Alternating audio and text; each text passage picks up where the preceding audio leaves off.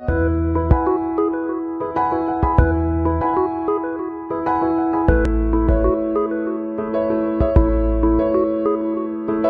안녕하세요. 필라테스 S 독자 여러분, 배우 한선아입니다.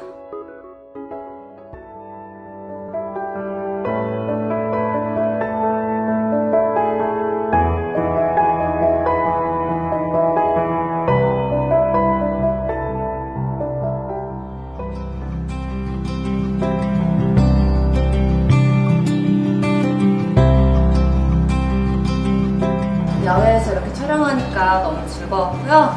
어, 여러분들도 코로나 때문에 좀 걱정이 많으시지만 안전 범위 안에서 야외 활동도 하시고 건강 늘 챙기셨으면 좋겠어요. 8월호 많이 기대해주세요.